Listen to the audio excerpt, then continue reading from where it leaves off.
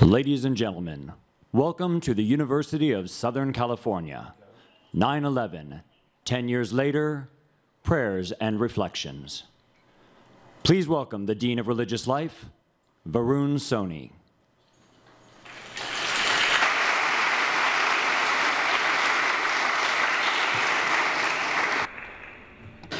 Good afternoon, everyone.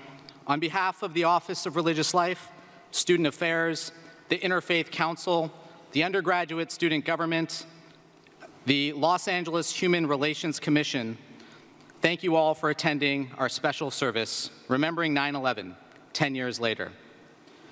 Today we remember 9-11, even though we have never forgotten it. For our current university students, 9-11 marked an end of innocence and youth, a time when a world filled with magic and miracle was transformed overnight into one of anguish and despair. Indeed, all of our lives dramatically changed during those dark days, and we will all carry those powerful images and overwhelming emotions with us throughout our lives. Today, we gather as a university community to remember the thousands of innocent victims who died in the horrific attacks 10 years ago in rural Pennsylvania, Washington, D.C., and New York City. Today, we pay tribute to the first responders, the firefighters, police officers, and medics who were killed in the courageous and selfless service of others. Today, we honor the heroes of United Flight 93 who sacrificed their own lives for the security and well-being of their country. And today we pray for those who lost their loved ones on 9-11, the parents, siblings, children, spouses, and friends who have suffered immeasurably since then. To memorialize this solemn occasion, I now invite Jem Jebbia, the president of USC's Student Interfaith Council, to light a ceremonial candle. And at this time, I ask that everyone stand as you are able and observe a moment of silence to honor the memory of those we lost on 9 11.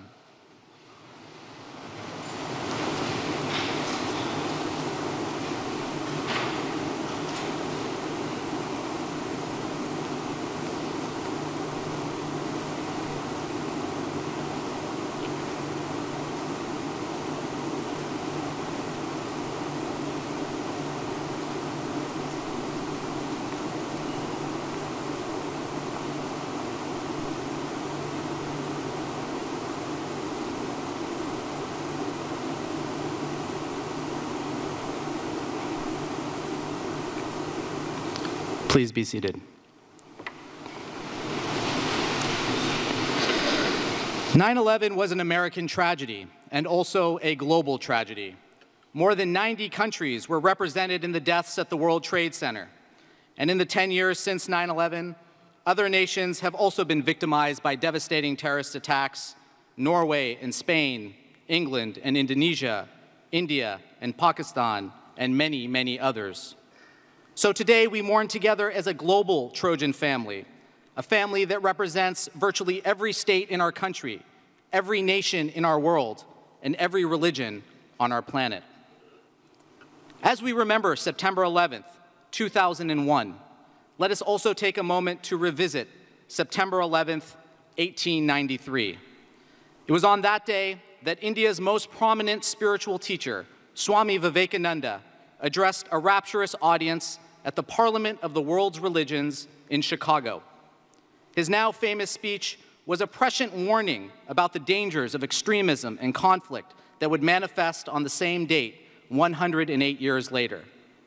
On that day, he said, sectarianism, bigotry, and its horrible descendant, fanaticism, have long possessed this beautiful earth. They have filled the earth with violence, drenched it often and often with human blood, destroyed civilization, and sent whole nations to despair. Had it not been for these horrible demons, human society would be far more advanced than it is now.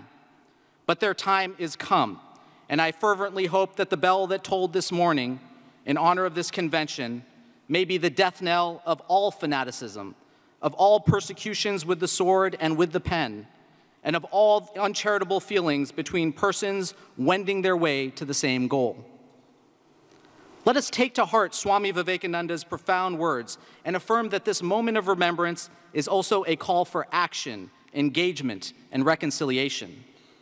Let us acknowledge that our university community is an inspiring example of how the world can work together, creatively and collaboratively, across disciplines and domains, in order to achieve our common goals and shared aspirations. Let us realize that our faith traditions should be part of the solution to the world's great crises and not part of the problem. And let us recognize that true peace is an internal process and an introspective journey, and that we can best transform our world by transforming ourselves. And now, in the spirit of love and unity, it is my privilege to bestow a blessing upon you, an ancient Sanskrit invocation from the Hindu Upanishads. Om Asato Ma Sadgamaya, Tamaso Ma Jyotirgamaya, Mritur Ma Amritam Gamaya, Om Shanti, Shanti, Shanti, Om. May we go from ignorance to truth. May we go from darkness to light. May we go from death to immortality. And may all beings find peace.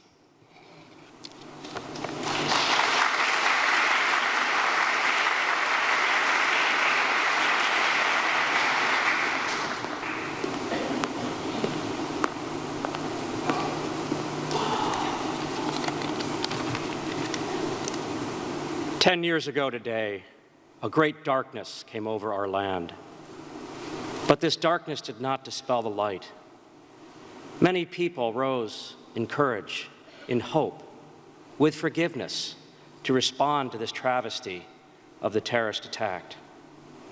In the response to the attack, we saw the beauty of humankind, what makes us really good, that we can be loving, uh, a people of sacrifice, a people of courage who are willing to rise to the challenge. I've picked a prayer for our memorial today from a prayer that is attributed to St. Francis. He's a 12th century saint who actually traveled to the Middle East to bring peace. Lord, make me an instrument of your peace. Where there is hatred, let me sow love. Where there is injury, pardon. Where there is doubt, faith. Where there is despair, hope. Where there is darkness, light. And where there is sadness, joy. O divine Master, grant that I may so much seek not to be consoled, but to console, to be understood, not to be understood, but to understand, to be loved as to love. For it is in forgiving that we are forgiven, that, for it is in, in giving that we receive. It is in pardoning that we are pardoned. And it is in dying that we are born to eternal life. Amen.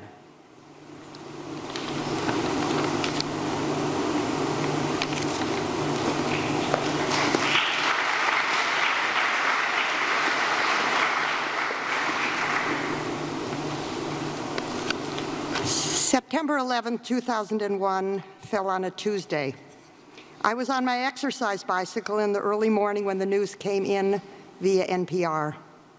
Although shaken, I prepared to receive several rabbinic colleagues for our weekly study session. Over coffee and bagels, we talked about what had happened, in a blur, confused. The phone rang. It was Provost Lloyd Armstrong. I think you should come down to campus right away, Susan, and meet with Michael Jackson, he said. Besides being my boss, he was right. I should have known on my own that I needed to be at USC. By the time I arrived at Michael's office, student affairs folks and others were brainstorming about campus responses. I spoke in favor of a large-scale convocation, a top-down approach that was overruled by those more attentive to process and student empowerment. Plans were drafted for residence halls, gatherings, and maintaining classes as scheduled. Later that day, a student, a leader who, with whom I'd worked, called to say he was planning an event for Tommy Trojan for Wednesday evening. Would I speak and help him organize it? I said yes, of course. As I recall, I read aloud Yehuda Amichai's searing applicable poem, The Diameter of the Bomb. Hundreds of students came, listened, lit candles, drifted away, each into their own shattered world. On Thursday morning, shortly after sitting down at my desk, a dean called. Isn't the campus doing anything, Susan? Have you heard that President Bush asked Americans to gather on Friday for prayer and reflection? I had not heard, but now I heard. Suddenly it became clear to me that the ball was in my court and could not be passed to anyone else. I called Bovard Auditorium, the place where we sit today, to see if it was available at noon on Friday. The next day, it was. I walked, I walked next door to the office of Sherry Caudle, who still administers the Office of Religious Life. Fasten your seatbelts, Sherry, I said. We're going to organize a memorial event by tomorrow. This organizing effort proved possible because we built upon existing foundations. Relationships nurtured over time showed their resilience. Everyone I called said yes and sprang into action, from singer Kathleen Rowland to members of the Student Interfaith Council to religious directors to Mona at the Daily Trojan. On a campus where one unit typically charges another for its services, all fees were waived. When Friday noon came, people streamed into Bovard from all across campus staff, students, faculty, administrators. There was a democracy of the stricken and shocked, the saddened and confused. As the program moved between music, words, and silence, people wept and held one another's hands. After it ended, many of them thanked me as if I had saved them from drowning. Perhaps I had. After that, other steps were taken. At Provost Armstrong's request, I brought together a widely based group to tease out the implications of the catastrophe for our campus.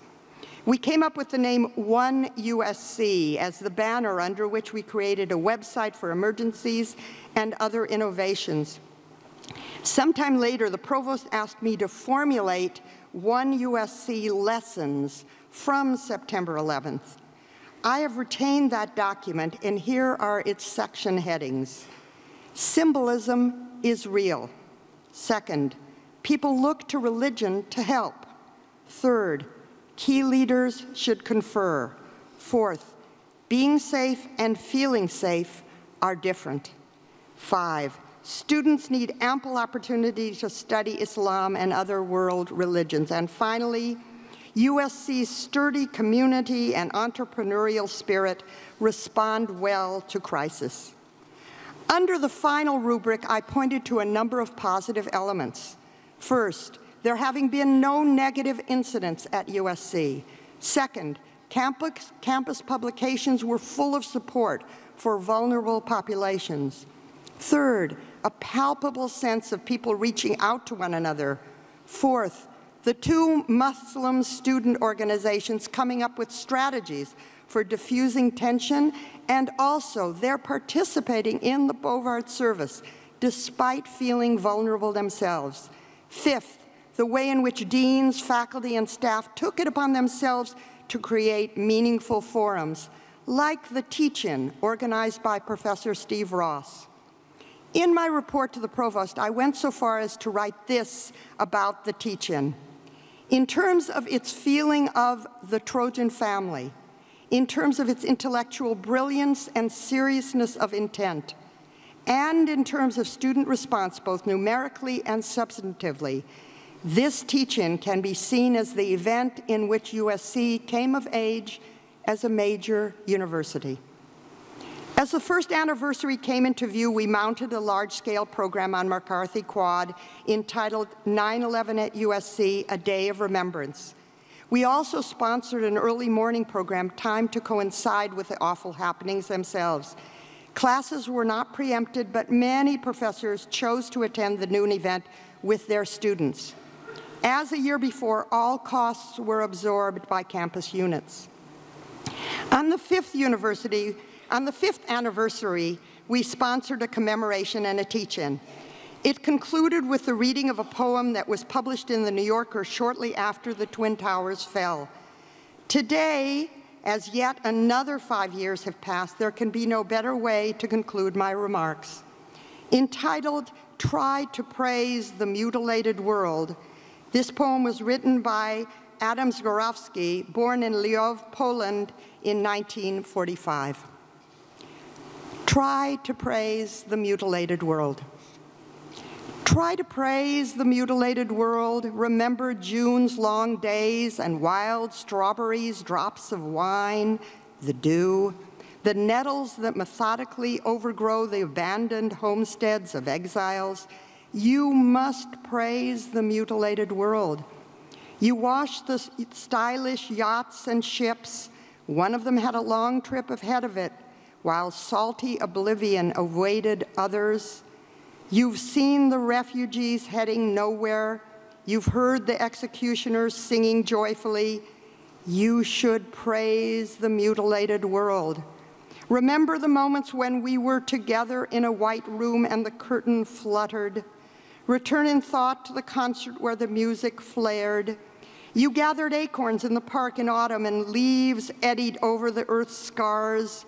Praise the mutilated world and the gray feather a thrush lost and the gentle light that strays and vanishes and returns.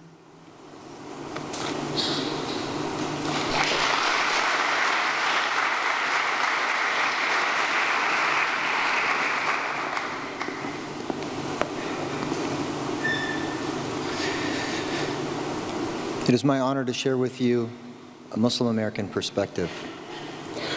I'm an American, I grew up as an American kid, in, born and raised in Phoenix, Arizona, with the name Jihad.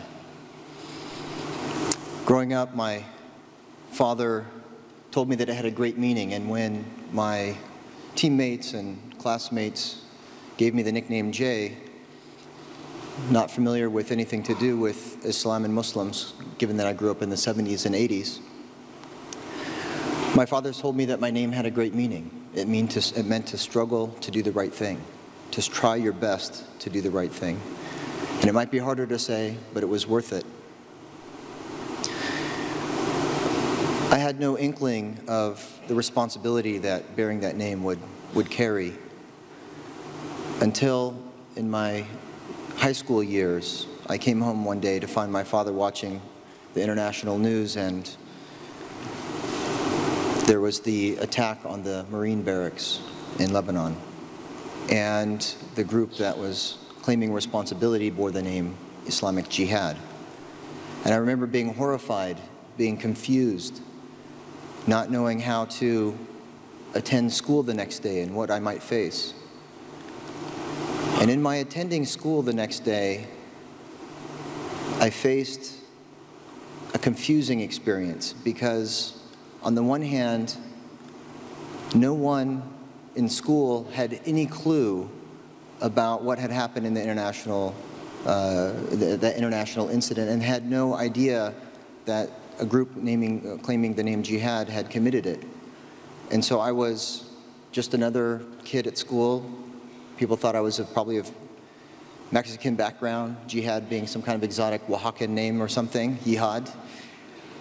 I was homecoming king and popular and sports, etc., and I went on with my life. But in that moment, I realized that my fellow citizens uh, didn't have a big picture about what's going on in the rest of the world, and I myself felt the obligation to learn a little bit more about myself, my heritage, and how that, that name, my name, could be affiliated with such a terrible act.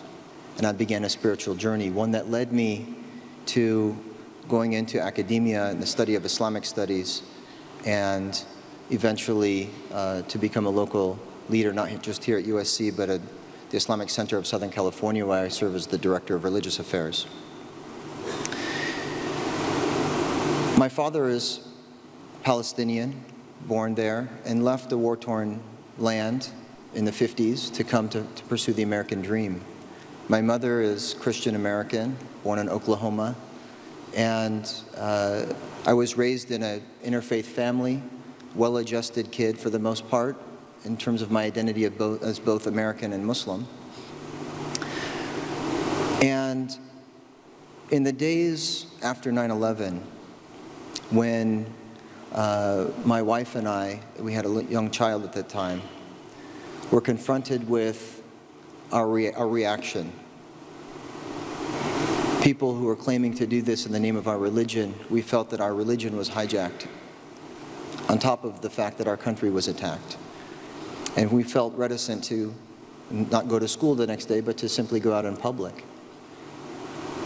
And so we waited a couple of weeks before my wife, who covers her hair and looks to be of uh, Islamic tradition, we went to the grocery store. And usually in the United States, people give you personal space and there's not a lot of interaction with strangers in public space like the market. But on that day, I was struck by two very distinctive reactions that I think in many ways has bore itself out over the 10 years since the attacks on 9-11.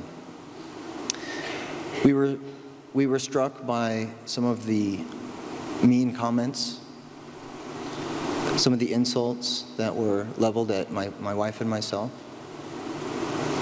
But, more profoundly, we were overwhelmed by the number of people who came to us on that day and started small conversations. Nice, this is a cute little baby you have here.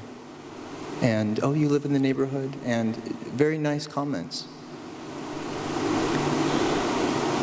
That was the overwhelming response that we received on that day. And although there's an, an attempt to affiliate the entire religion with, with, uh, as being guilty somehow for the attacks on 9-11 and other attacks since and before, it is in that response, that reassurance, that comfort that we were shown on that day, that we find the true American spirit and values.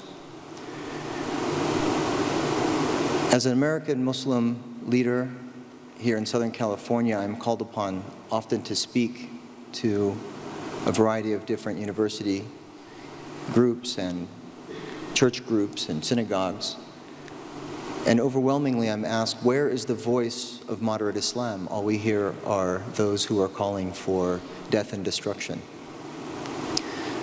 And I attempt to reassure everyone that the overwhelming majority of Muslims condemn 9-11.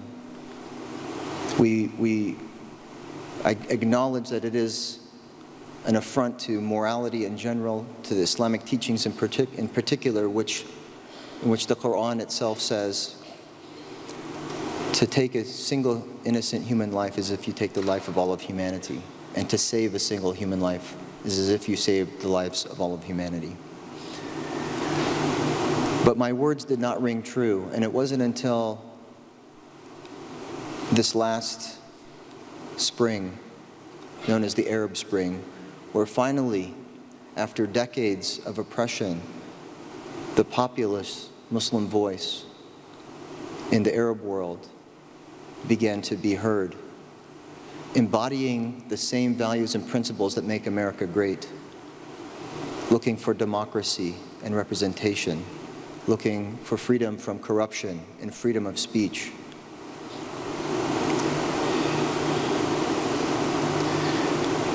There are a couple of verses that I'd like to share with you in conclusion that to me are the bedrock of my faith and the faith of many millions of Muslims worldwide.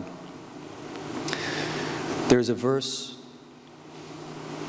in the Quran in chapter 5 verse 13 that reads, O mankind, we have created you from a single male and a single female, that you may get to know one another, not that you may despise one another.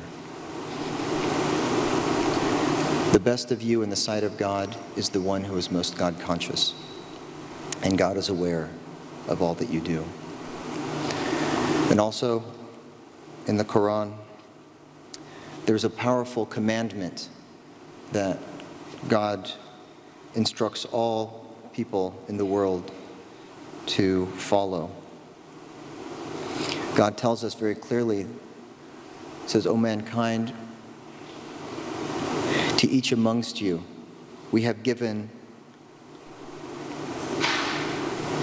to each of you we have given a law and an open way. If God would have so willed, he would have made you a single people. But it is, his, it is his plan to test you in what he has given you. So strive as if in a race in doing virtue. This is the commandment. Strive as if, as if in a race with one another to do what is virtuous. The goal of you all is to God. And He ultimately will tell you about the things in which you differed. So I call upon myself and all of you as my fellow citizens and people of faiths, various faiths, faith backgrounds, or no faith tradition at all, to strive one, with one another, to encourage one another in finding the common good and doing what we can to make this country and this world a more peaceful and blessed place. Thank you.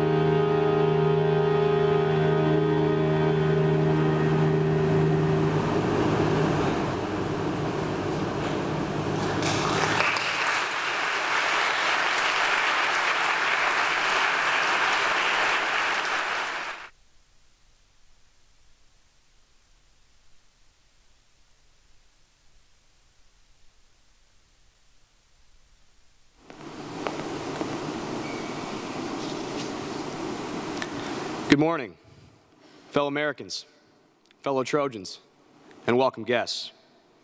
I'm both honored and deeply humbled to be here today on behalf of a generation who grew up in the aftermath of the tragic events of September 11, 2001. I want to start by asking all of you to please join me for a moment by closing your eyes. With your eyes closed, I want you to try and imagine yourself 10 years ago at around 9 a.m. on the morning of September 11th, 2001. Where were you? What were you doing? Who were you with? What's amazing is that even during such a dark moment of our lives, we can all recall with vivid clarity even the most minute details of where we were physically and emotionally.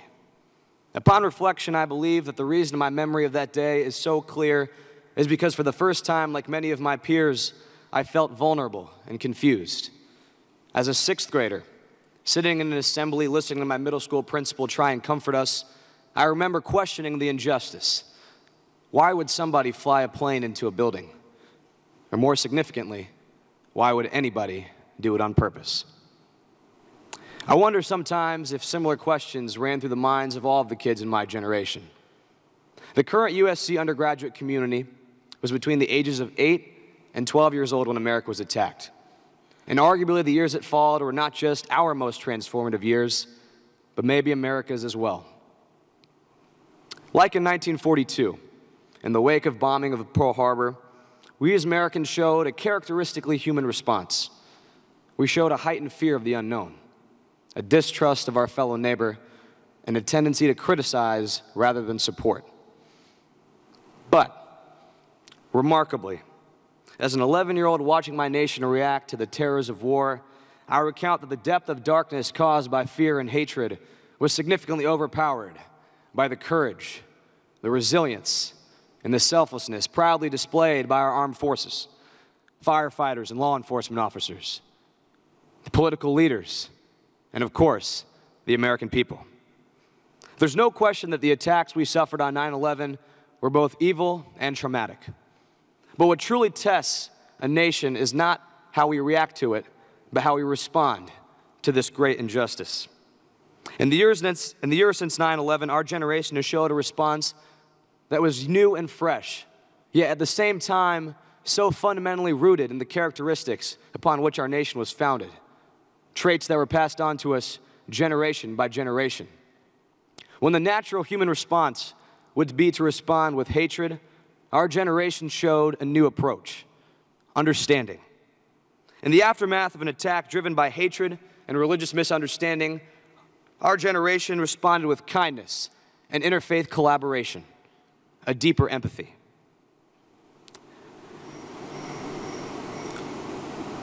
Over the course of our youth, our generation has showed a remarkable ability to take circumstances, not make excuses, but to find solutions. We haven't taken a back seat to what the world gave us as young children. Instead, we aggressively pursued a more complete education and understanding. We went out of our way to reach out and to help our neighbor, and even beyond our neighbors, to help out those around the world. In the midst of other worldwide disasters, such as tsunamis and earthquakes, and even acts against humanity, it was our generation that hasn't cowered behind the excuse of not having deep enough pockets, but reached for every nickel and dime, and more significantly, our time to help out whenever we could. We inherited a general state of apathy, yet we chose to get involved. We inherited a state of political division, yet we seek out unity. We entered a world where it was constantly about me against you, but we chose to make it about us. I firmly believe that an ambition and an intention to truly understand one another will be the defining characteristic of our generation. The world we're living in has become a fully global one. As Americans, we often see ourselves as leaders of the free world, but as we move forward, this leadership will no longer solely be through economic means, but ideological ones, where we move the world towards more understanding. And at the forefront of that movement will be our generation. We as students have seen this model work, and you don't have to look very far. You've seen it work right here on this campus. When you leave here, take a look at all the flags proudly adorning VKC and all the nations that we proudly represent here at USC. Take a walk down Trousdale and listen for how many different languages you'll hear talking about the latest football game. Merely 50 years ago, the thought of collaboration between Christians, Muslims, Jews, Hindus, and Buddhists would have been unfathomable. Yet attend any USC Interfaith Council service event, and you'll find students doing just that at a mere 18 years of age. The people in this room, the people in our generation, have grown up in an extraordinary time. And make no mistake about it, our time is rapidly approaching when soon we will be handed the reins to make some of the most critical decisions in human history. And it's my firm belief that we're up to the challenge. We're up to the challenge because we're a generation that goes the extra mile to help out a friend from a different background, that goes out of our way to help out our neighbor. And not only our neighbor, but those around the world as well. And in doing so, we seek to not only make ourselves better, but to make each other better. We have grown up in complex times. And as we continue to grow, I know that we will continue to do amazing things. In doing so, we will leave not only the United States, but the world a better and more compassionate place. Thank you, God bless you, and God bless the United States of America.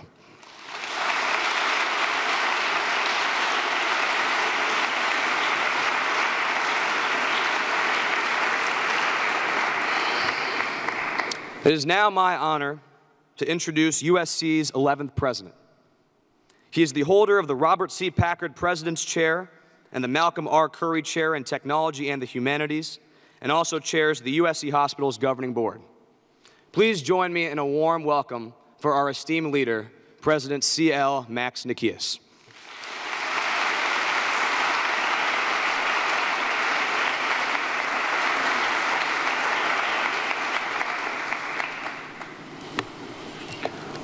Thank you, Monish, and good morning, everyone. I also want to thank all of you for coming to Bovard Auditorium to join us on this very important day of remembrance. Like all of you, on this day a decade ago, I woke up to a changed world. On that morning, as I was sleeping, I received a phone call from my nephew, who is a pilot of Cyprus Airways. He asked me what was happening in New York City and Washington, D.C., but I didn't know, I didn't know, I had no idea what he was talking about.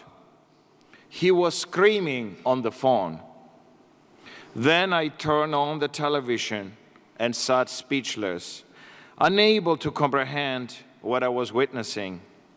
My thoughts immediately turned to the victims, to my loved ones, and to this community. We will never forget the haunting images that filled our screens or the heaviness that weighed on our hearts. But we will also never forget the resolve of this nation to move forward with courage, with purpose, and with optimism. Today marks a truly meaningful milestone in our nation's history. We commemorate this day not to remember the unspeakable acts of a few, but to recall the compassionate deeds of so many.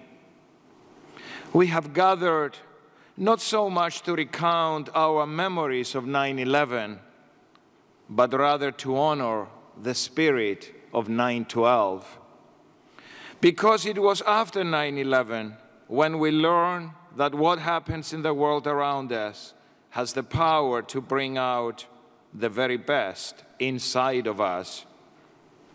It was on 9 12 that we came together, young and old, rich and poor, neighbors and strangers, Christians and Muslims and Jews it was then that we recommitted ourselves to our families, our communities, and our country.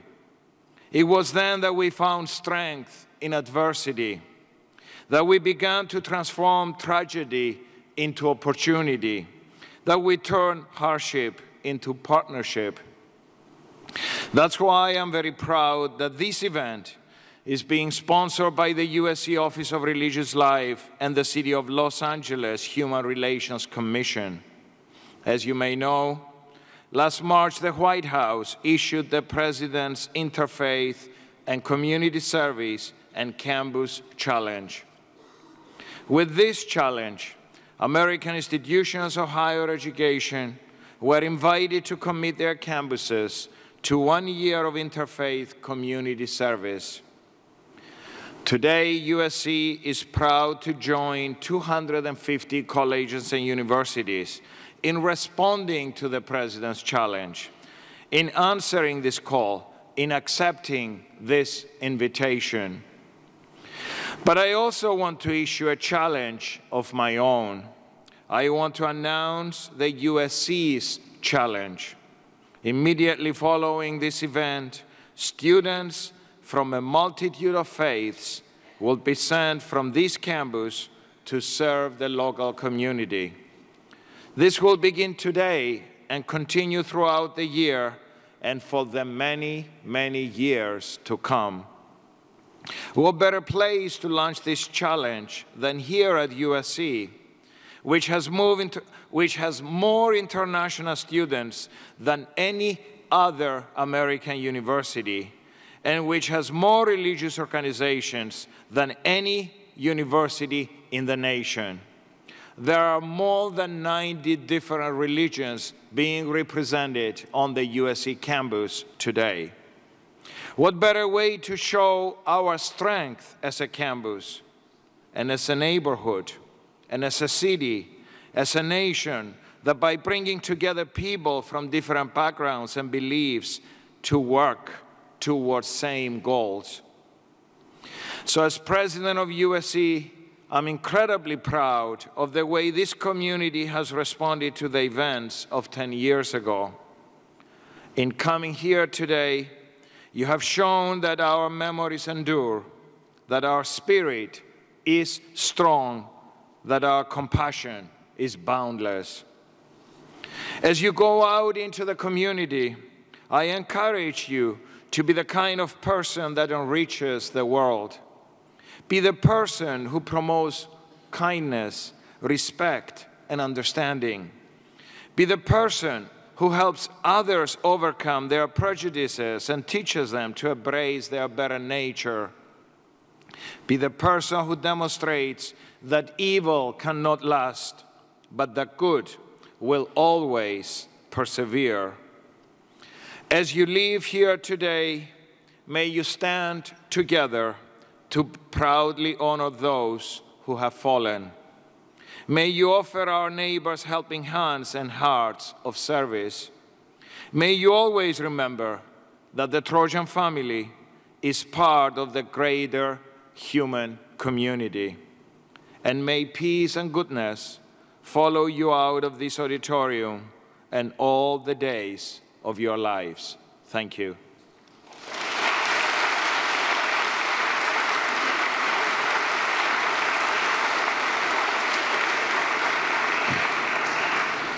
Now it is my privilege and pleasure to introduce a man who has a great passion for this city, its people, and its destiny.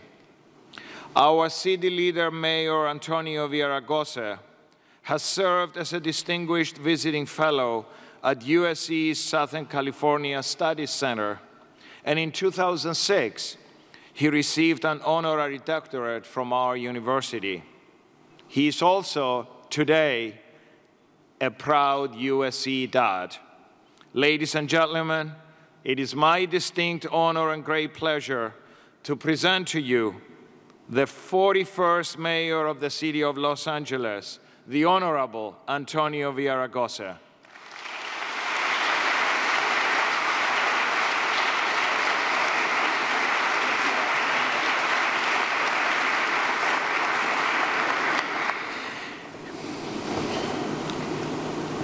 I said to President Nikias, I am a proud USC dad. It is fitting that we are here, the University of Southern California, an institution of higher learning among the best anywhere in the world,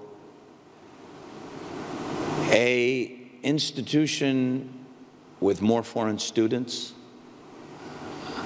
institution residing in a city, resided in a city that is as diverse as maybe any in the world.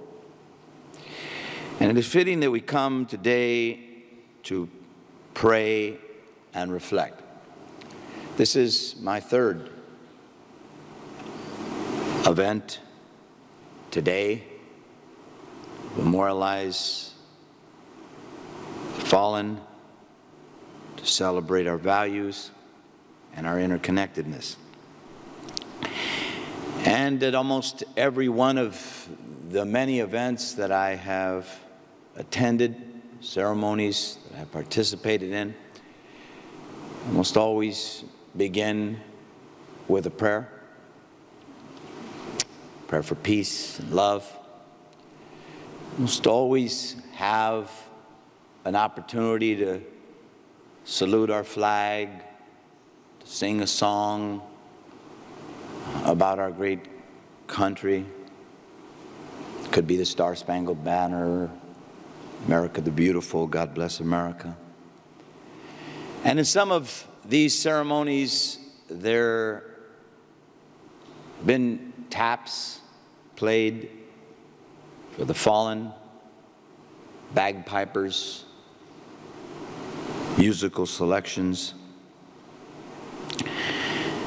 Last night, I had an opportunity to be at a faith service, not coincidentally, on the Spring Street steps of City Hall, where usually where we don't have as many events. We usually have it on the First Street side. And at that event, event with faith leaders representing virtually every faith I know of and some I'm not so familiar with. We lit candles under the idea that one light, one world, one peace. As we memorialize the fallen, and we must memorialize the fallen, those few brave first responders who, as I heard from an eyewitness today, the Museum of Tolerance, uh, were running up as everybody was running down, who maybe even knew. In fact, we know that some did know because they actually communicated with their family just before they died. But as we memorialize and think about those brave people, as we think about and pray for the innocents, those families who, like so many of us, just going to work, had their cup of coffee, read their newspaper, didn't have a political view in the case of many, were engaged in the everyday things that all of us engage in. These individuals died a horrific death. But in their death, our country came together. We were more united than we have ever been, at least in my lifetime. You see, we knew that on that day, they were not trying to just destroy buildings, iconic buildings like the Twin Towers, seats of power like the Pentagon, wanting to hit the Capitol as well. They wanted to destroy our values, who we are. A country that has shined a light around the world, much as this university has welcomed so many from around the world. A country that from its very beginning has been imperfect, but has, with each generation, sought to be a more perfect union. And on that fateful day, we knew, and I said earlier today, many have compared Pearl Harbor with September 11th, in no small part because of the surprise nature of that attack, because so many innocents were killed without provocation. Two of the deadliest acts in our history, our soil. What was different about September 11th, however, after Pearl Harbor, we lost our footing. We lost our sense of right and wrong. We lost our moral compass. We incarcerated the Japanese violation of our Constitution, of the values uh, that they sought to destroy.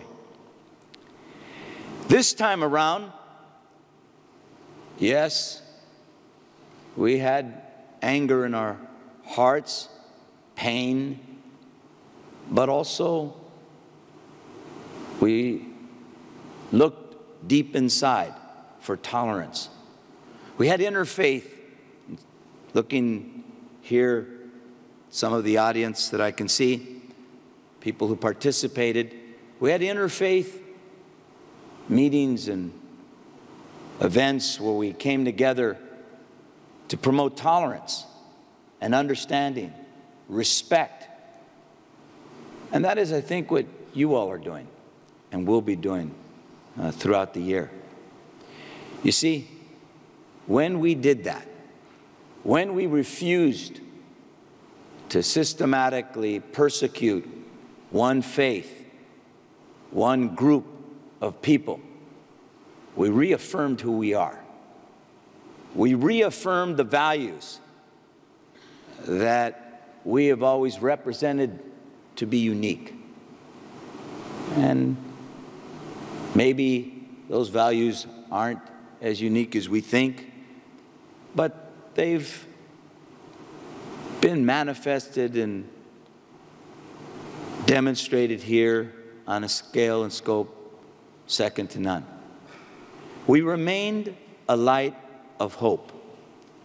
We remained a beacon of promise around the world when we refused to let our darker passions overcome. And I think that's what you are all doing today. We're praying for a better world, praying for peace in our world.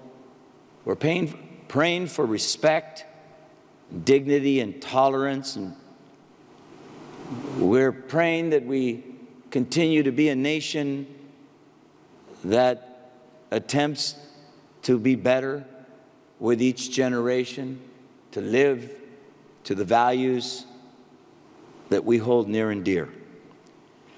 And so today we also celebrate and not just memorialize. We celebrate our freedoms. We celebrate the respect that we try to promote as a nation for diversity and tolerance and understanding. And I think it is fitting that we are here at this great university, among the most diverse anywhere probably in the world, in this city, the city of America's hope and promise, that we come together to pray, to reflect, to reach out to a stranger and seek the peace that we want around the world. I want to thank you for allowing me to be here with you today. I couldn't be prouder to have participated in the many events that I have over the years. But this one, this one I think touches us in a very different way. And so as we go home today, as we break bread with family, as we maybe go to our places of worship, let us continue to keep the light bright. Let us continue to be a beacon of hope and light and promise for people all around the world. That, I think, is what we should pray for and reflect upon today. Thank you very much.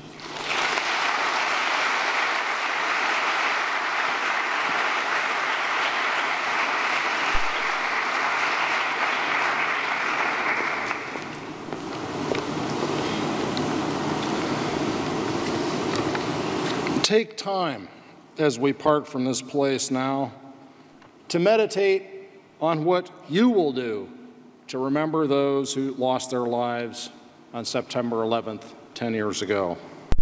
What actions will you take? What changes will you make in your life and also in the wider world through your actions as a citizen? You can write down your intentions on these cards these I will remember cards that you received as you came in.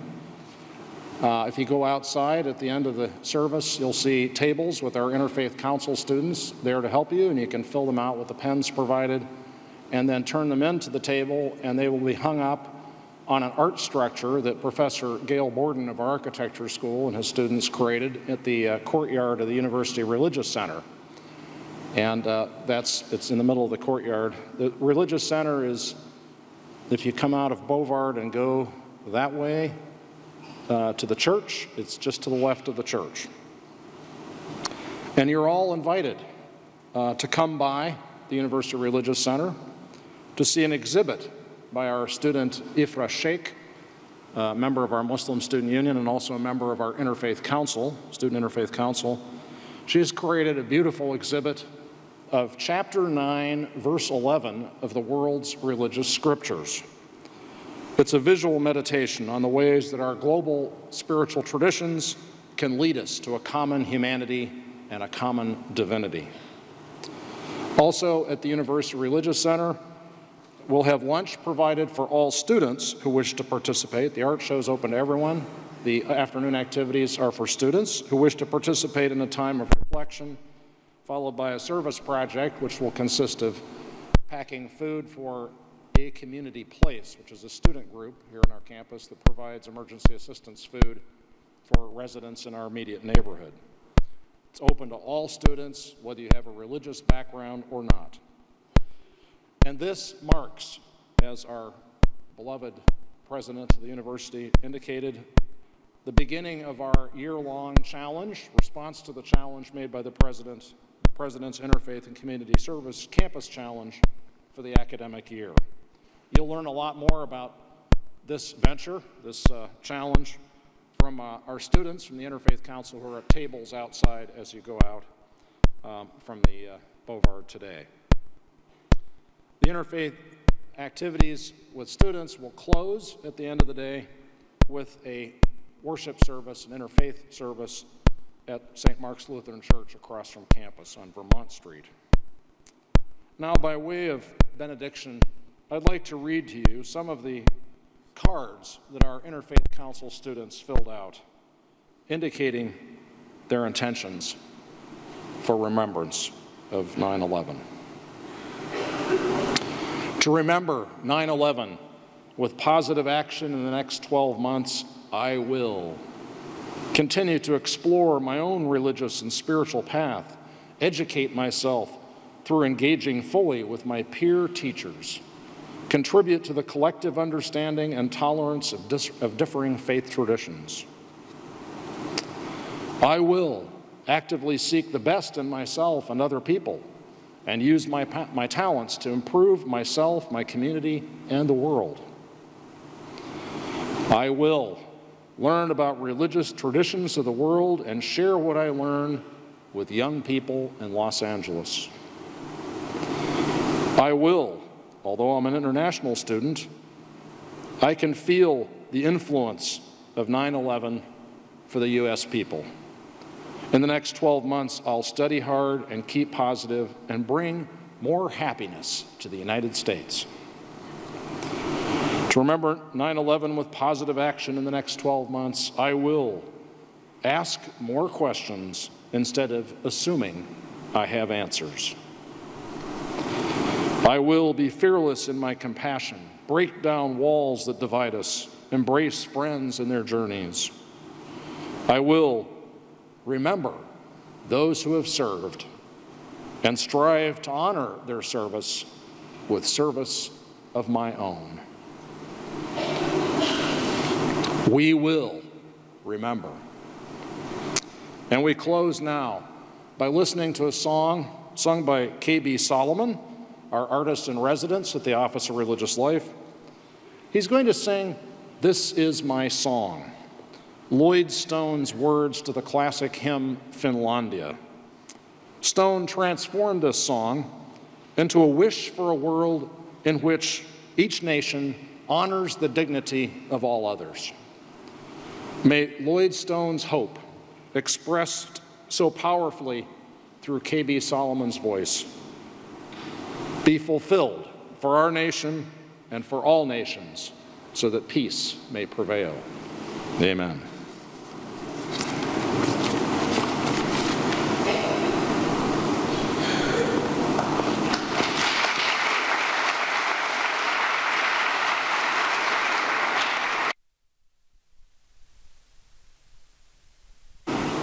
I am so honored to be here to commemorate this historic occasion. And this song says it all.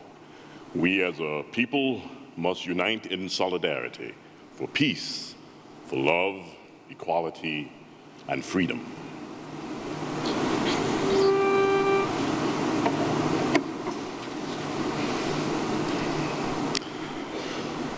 This is my song,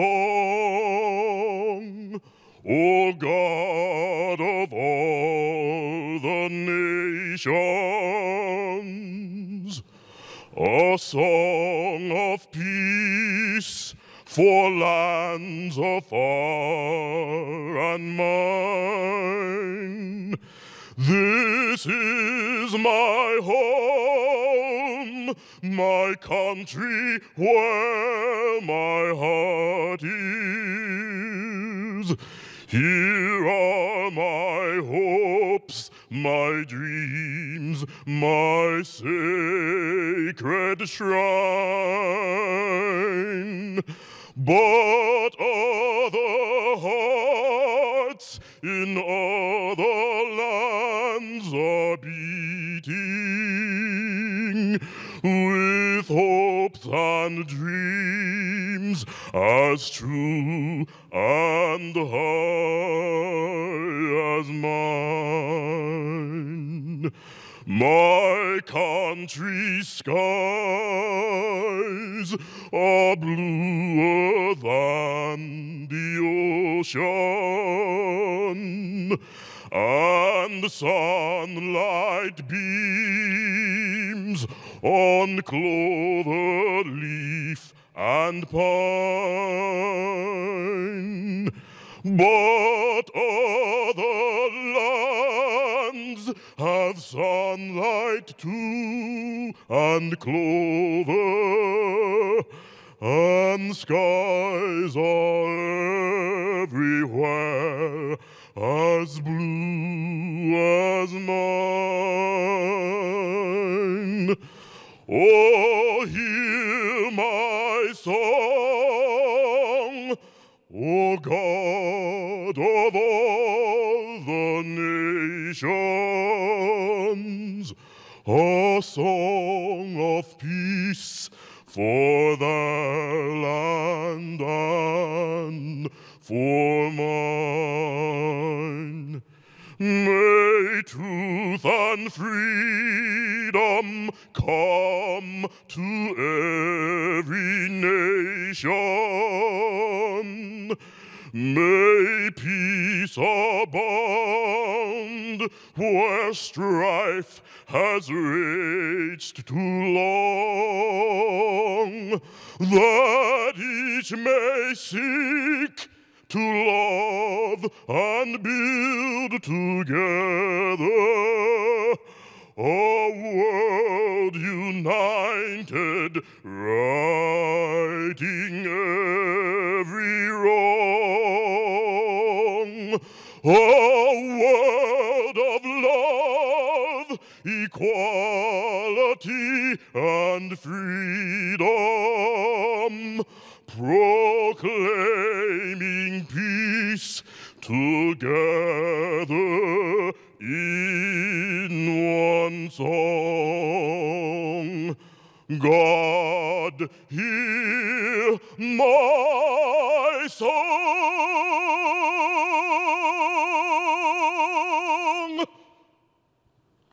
God bless you.